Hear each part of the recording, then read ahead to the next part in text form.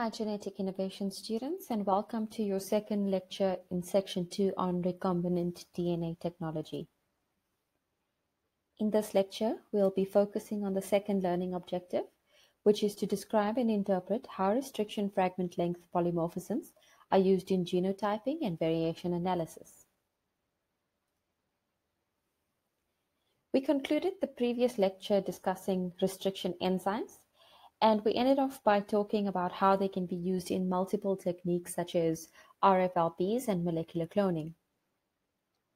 RFLPs are used to differentiate between DNA sources, and this is based on genetic variation between the sources of DNA.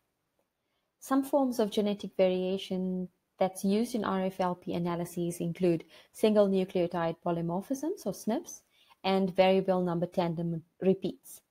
So these are like your microsatellite sequences, which have variable number of repeats in the genome.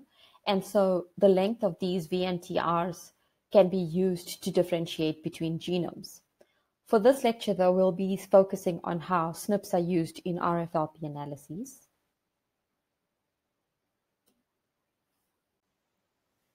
So we'll begin with a sample of genomic DNA. The genomic DNA is first treated with a restriction enzyme and then it's resolved on an agarose gel. The resulting pattern of fragments are called a DNA fingerprint, and single nucleotide polymorphisms may result in the gain or loss of a restriction site. When the restriction site is either gained or lost, this changes the DNA fingerprint pattern, and this change in the fingerprint is referred to as a restriction fragment length polymorphism, or an RFLP for short. So when we have variations in microsatellite sequence lengths, this can also alter the DNA fingerprint and form RFLPs. RFLP patterns can therefore be used to differentiate between DNA from different individuals, and this is a very useful tool in forensics. It can also be used to determine if DNA belongs to very closely related individuals and offers a useful tool for paternity testing. So now I would like to go through the concept of an RFLP and how it can be used or how a single nucleotide polymorphism can be used to differentiate between DNA from different individuals. So let's take an example here of individual A. So in individual A, we're just going to assume that the length, the total length of the sequence is approximately 250 base pairs. The sequence is not drawn to scale. However, in the middle of the sequence, what we can see here is a restriction site, GGATCC, and our restriction enzyme, HindIII, cuts after the first G.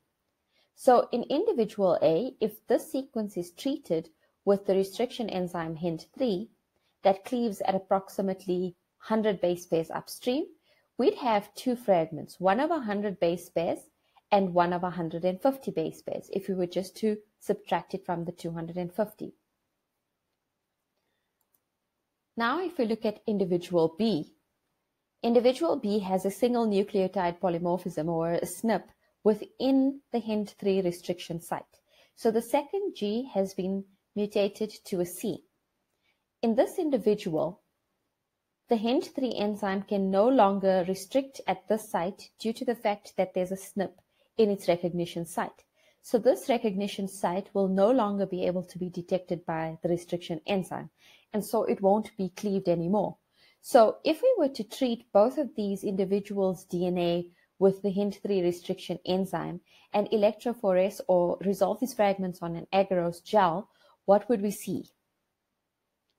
So here's an example of an agarose gel. And since there was a restriction site present in individual A, we should be able to see two fragments, one of 150 and one of 100 base pairs as the restriction enzyme would cleave the restriction site at this position. However, in individual B, there will no longer be a restriction site, and so this sequence will no longer be cleaved. And so we'd end up with a fragment of 250 base pairs on the agarose gel. And this can differentiate between these two individuals due to the presence of the SNP in individual B.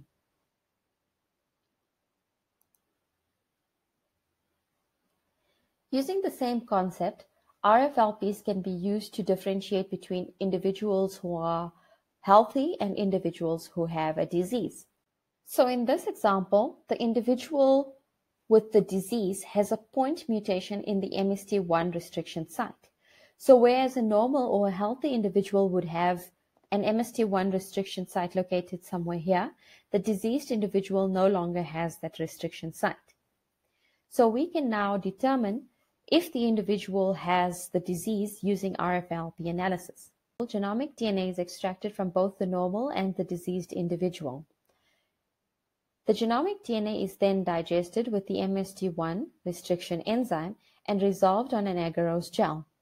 So once the fragments have been resolved on the agarose gel, a probe is then designed to bind to the sequence in all cases. In the normal individual, the probe will be able to bind to both of the sequences that have been digested with MST1. And so what you'll see for the healthy individual whose DNA has been cleaved is two fragments, whereas the diseased individual will only display one fragment of DNA on the gel. And this fragment would resolve at a higher length compared to the other sequences.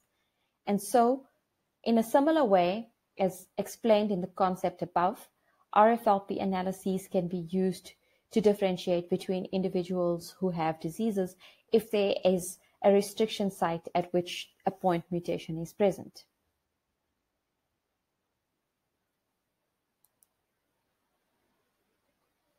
RFLPs can also be used in genotyping. In this example, the polymerase chain reaction has been combined with RFLPs. So I explained to you previously, although we haven't covered the concept of PCR in detail, PCR is used to amplify a specific region of the genome or a particular gene. In this example, alleles of a particular gene have been isolated by PCR. Individuals with the AA allele have a restriction site present in the allele. However, individuals with the recessive allele, small letter a, small letter a, do not have a restriction site present. And so the sequence is not cleaved when individuals have a small a, small a, or recessive genotype.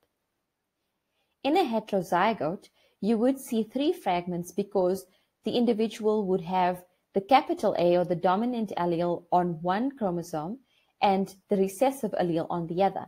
And so you would see three bands in an individual who is a heterozygote. And so this principle can therefore be used to genotype individuals.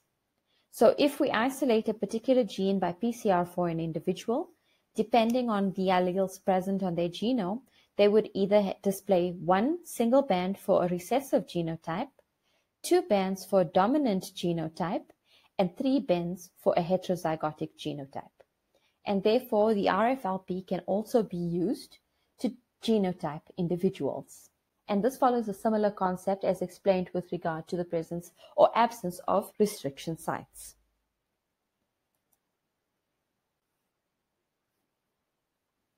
Restriction enzymes can also be used in a process of restriction mapping.